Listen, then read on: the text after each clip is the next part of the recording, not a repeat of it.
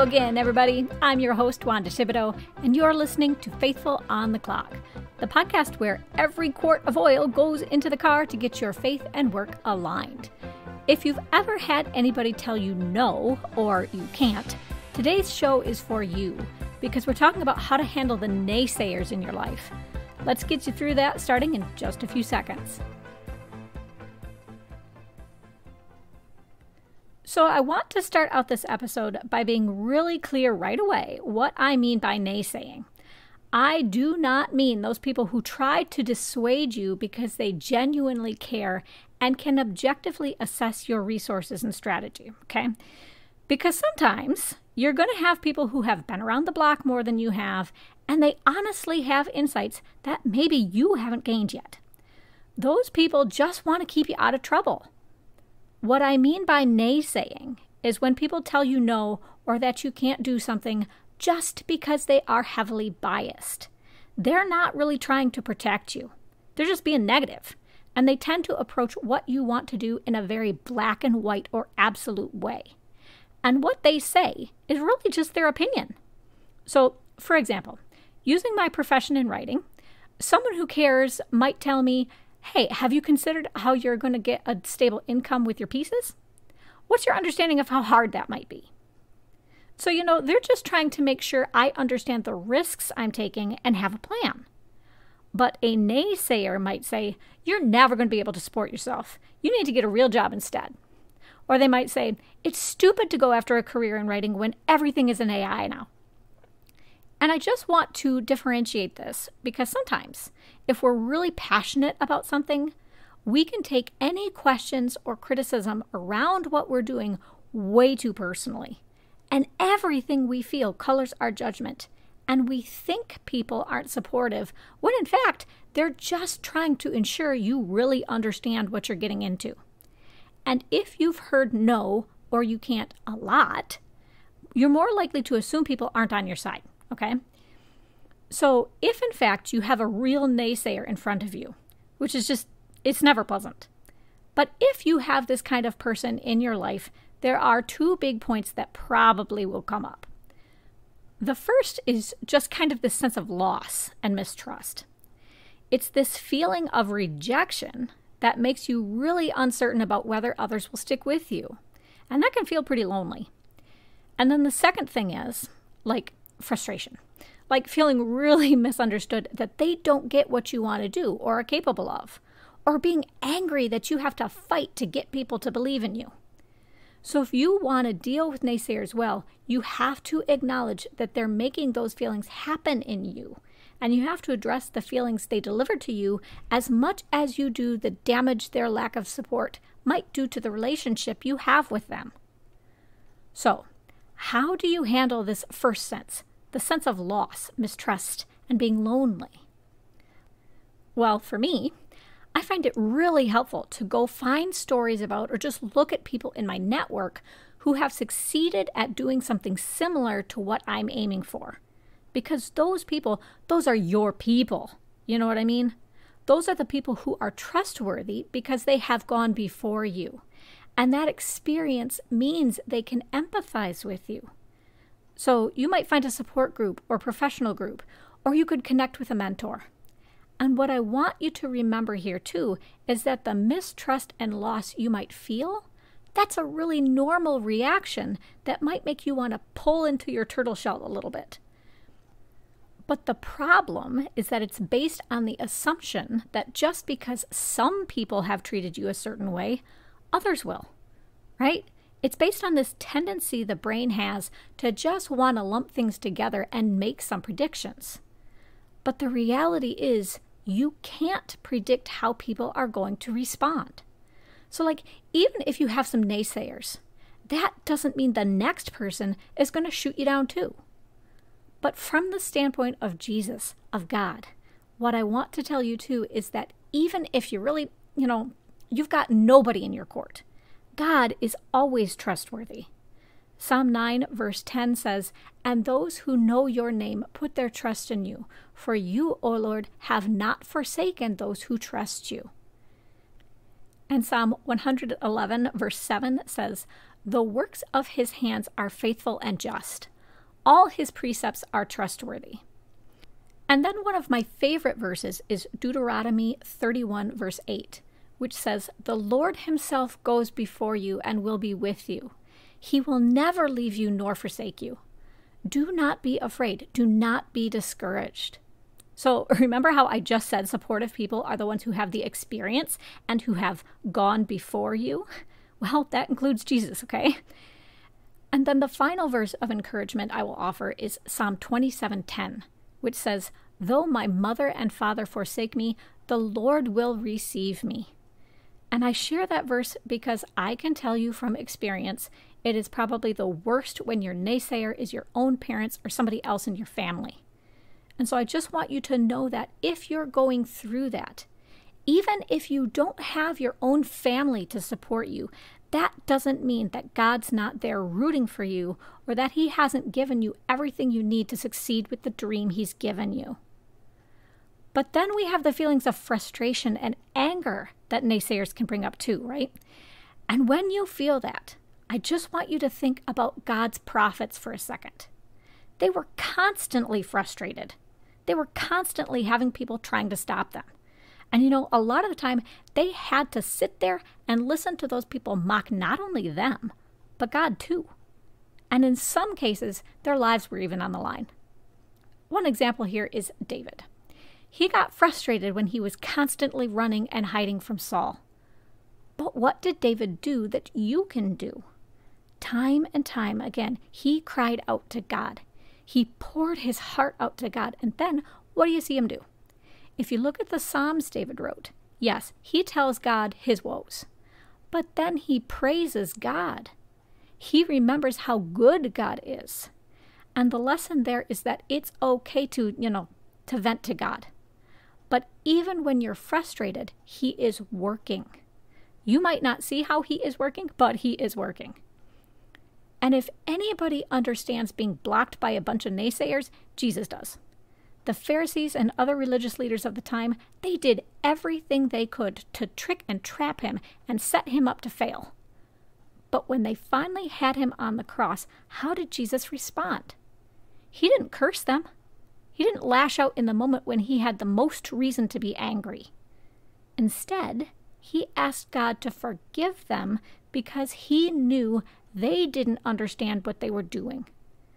And so, one of the most powerful things you can do is to forgive the people who don't believe in you or who get in your way. Because they might not be able to see what you're about. They might not understand the good things they are blocking or how they are hurting you. And they might not get that God has given you gifts and called you and that you've got Jesus behind you. They might not have heard about him or understand what it means to be a loving neighbor. Maybe they were never taught how. And so Jesus had compassion. And when you pray for God to forgive people who are against you, I want you to understand it's not saying what they're doing is right. It's not giving up or being weak, because remember, being up on that cross and forgiving and setting up an eternal invitation for anybody who would believe, that's the strongest thing Jesus could have done. It's just saying that just as Jesus released his frustration and anger so we could be saved, you're releasing that anger and frustration from your heart so you can stay aligned with the Spirit of God. And one thing I want to tell you is to resist that temptation. You might have to deal with your anger and frustration by laying out the facts for people. Because that's what we do a lot, right? we get mad and then we're like, I'm going to give them every link on the internet I can find on this. I'll show them. But we know from psychology that burying people in information doesn't do a whole lot to convince them you're right. What it does do, counterintuitively, is make them dig in their heels that they are right. There are a lot of reasons for that, and I'll include a few links in the show notes if you want to learn more about that. But if you understand the basic idea that you can't just say to somebody, this is going to work because X, Y, and Z, then your best option to resolve the conflict is just to let the results speak for themselves. So think about what happened as Jesus was preaching. He didn't just give people a laundry list of why they should believe he was the Son of God. He showed them why they should believe with miracles no one else could possibly have done. And when his naysayers saw those miracles, a lot of them had to set their unbelief aside. They couldn't deny Jesus was God's son anymore. And so when you stay the course and you do what God calls you to do, there very well might be people who come back to you later and who have to admit they were wrong about you and the God you serve. The fact you finish very well might be enough to change their minds and turn things around. And that's a pretty big deal. So when you're tempted to quit because of something somebody said to you, remember that it's not just the goal you have that's at stake. It's not just the vision you're working for. It's also somebody's faith and their ability to know who God is. So now that you have a little bit of guidance on how to deal with the emotions around dealing with naysayers, let's look at it from a little bit more of a practical level. And for that, I'm going to pull up the story of my guy Noah. You'll find that in Genesis 6 through 8. So, just to summarize and refresh your memory on that a little, God comes to Noah and basically says, People stink worse than Limburger cheese. They're not doing what they should be doing, so I gotta wipe them out. And God tells Noah that he's going to destroy everything with rain, and he commands Noah to make an ark so that Noah's family and the creatures of the earth will be safe. Now, scripture doesn't really tell us how people around Noah reacted to his big carpentry project. But imagine you're one of Noah's neighbors, somebody from his area. And maybe you've always thought Noah is a little messed up in the head for the way he goes on and on about this God guy.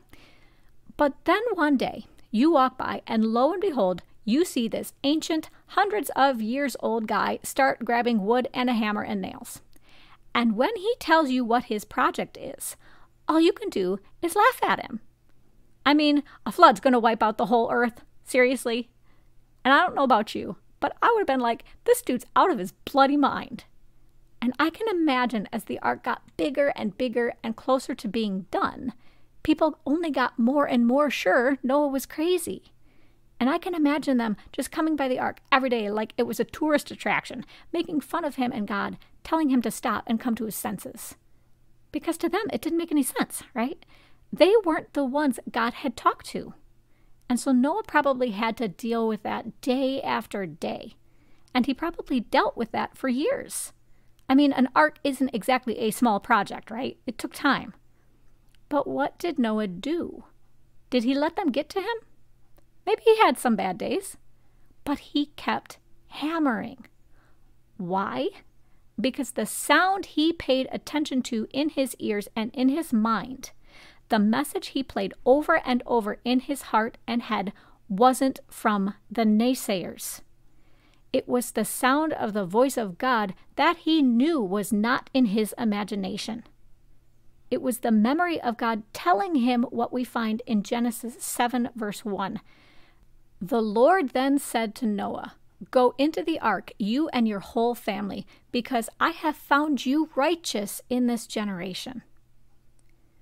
When everybody else was probably down on him, Noah knew that no matter what anybody else thought or said, God saw him as good. God believed in him. God was making a promise to him like no promise anybody had ever gotten before. And God was telling him, Because you are good and faithful, come into the boat with me. I'll be there with you. I'll keep you safe with me. And what did Noah do? He got in the boat. So now I want to turn your attention to Mark 4 35 through 41. In those verses, we find that Jesus has asked his disciples in the evening to cross over with him in a boat to the other side of the Sea of Galilee. And what you have to understand there first is that he's got some disciples who are experienced fishermen. And they know that the Sea of Galilee can get dangerous really fast. It's known for its unpredictable storms. So that alone would have made them hesitate. And on top of that, if they were to go across to the other side, they're going to get into Gentile territory, which brings its own basket of safety problems. They knew if they went across, they'd be surrounded by people who would be critical of them. And sure enough, They all get in the boat, a big storm comes up, and the disciples are terrified they're going to drown. And they wake up Jesus, who'd been sleeping through the storm, and they ask him, Hey, don't you even care? We're in danger here. And just as God had commanded the rain to stop to end the flood, and then sent the wind to dry the earth out, Jesus commands the waves to be still, and they're still. And what I want you to see is that in both those stories, people had to be willing to get in the boat. And both times, everything they needed to stay safe was already with them. They didn't have to worry about what was going on with the weather because there was an infinitely capable captain at the helm. So when people make fun of you or tell you that you can't do something God's put on your heart, when your storm comes, don't focus on how high the water is. Focus on the captain you've got in the boat with you. To pull all this together, I just want to offer a little encouragement because I know that there will be times when the naysayers in your life try to pull you away from living the way God wants you to do. And they might even tell you not to believe in God. And I just want to remind you that because you have the power of Jesus with you, you have the strength to walk away from their doubt. Just walk away. Don't let them plant any seeds that could grow big enough to choke your faith. So let's pray together. Lord, I give you thanks today that we can do all things through you, no matter what anybody else might tell us. Thank you that when others tell us no or you can't, you're in the boat telling us that yes and you can. And God, I thank you for your Son who showed us how to give love even when people don't believe in us. In Jesus' name I pray. Amen. All right, listeners, that's the end of the show. Next episode, I'm diving into how to handle disappointment. I think we've all had a little bit of that in our work at some point, right? Maybe people let you down on your team, or your job isn't going the way you thought it would, for example. I'll share how that's influenced my own career decisions and try to help you through it next time. Until then, everybody, be blessed.